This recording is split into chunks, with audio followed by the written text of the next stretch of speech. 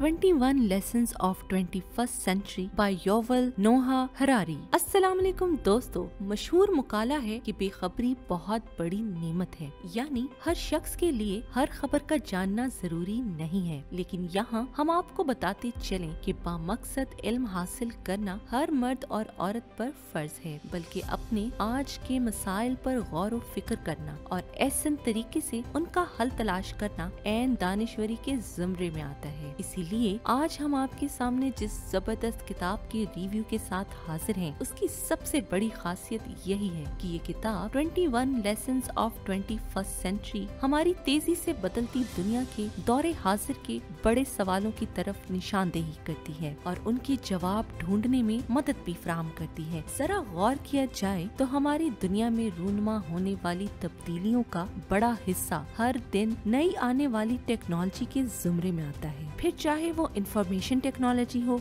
या बायोटेक्नोलॉजी इस किताब के मुसन्निफ ने अपनी बेहतरीन काविश के ज़रिए दुनिया भर के कायरीन को ये बावर करवाया है कि टेक्नोलॉजी के इस तूफ़ान का किस तरह कामयाबी से सामना किया जाए और वो दौरे हाजिर के बेहतरीन मुफक्र और हिस्टोरियन की हैसियत से जाने जाते हैं। पेशे के एतबार से वो हेब्रो यूनिवर्सिटी ऑफ़ यूरोशलम से मुंसलिक हैं। उन्हें ये एजाज भी हासिल है कि वो होमोडियस एंड सेपियन जैसी बेहतरीन और इल्म हिकमत से भरपूर किताबों के मुसन्निफ भी हैं। उनकी राय को दुनिया के मोतबर हलकों में बहुत अहमियत हासिल है। मुसन्निफ अपनी किताब में चंद अहम हकाइक की तरफ़ इशारा करता है, जैसा कि डेटा एक कीमती असासा है। दुनिया मुख्तलिफ़ नजरियात के मुताबिक चलती है। ताकतवर नजरियात दुनिया के इकतदार पर हावी हो जाते हैं। बिल्कुल ऐसे ही आज के जमाने में यूज़र्स डेटा बहुत अहमियत का हामिल है और दूर रस्त नतज रखता है। दुनिया में आने वाली हुकूमतें, पॉलिसियाँ तरीका कार इकदार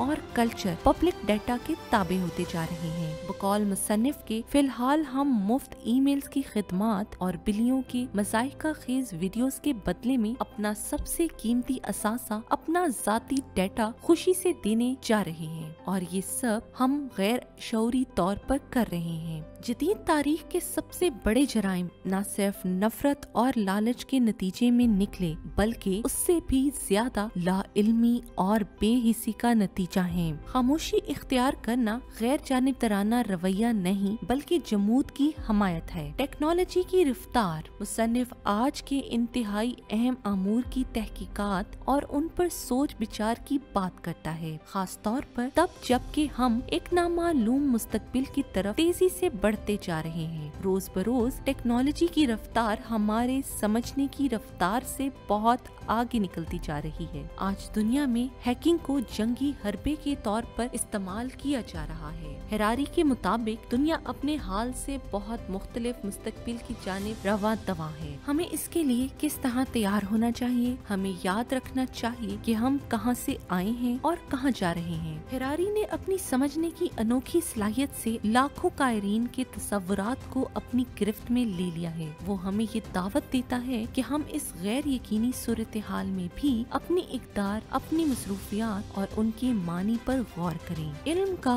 गुमान यहाँ मुसन्निफ एक गहरे नुकते की जानब इशारा करता है। हमारे दौर में खुशकिस्मती से हमें ज़्यादा नॉलेज तक रसाई हासिल हो गई है, लेकिन उसकी वजह से हमें ये लगने लगा है कि हमारे पास बहुत मालूमात हैं, जिनकी बदौलत हम ज़्यादा जानते हैं। दर हकीकत ऐसा नहीं है, क्योंकि अब भी हम अपनी जिंदगियों में रोज़मर्रा के मामला के लिए माहरीन के मोहताज हैं। जैसा कि हम नहीं जानते कि शिकार कैसे करना है, अपने लिए छत की तामीर कैसे की जाती है? या अपने जिस्म को ढांपने के लिए कपड़ा कैसे तैयार करना है? ज़्यादा मालूम हमारी जहानत और काबिलियत की दलील नहीं है। इसी बुनियाद पर मुसनफ मजीद ज़िम्मेदारी स्कूलों और तदरीस के शोबों से मुंसलिक अदारों पर डालता है। ये जानने की ज़रूरत है कि स्कूल में तुलबा और तालबात को सोचने पर और गौर फ़िक्र करने की तरफ़ रागब किया जाए। नई नस्ल को सिखाया जाए कि कैसे और किन लाइंस पर सोचने की ज़रूरत है। मसनू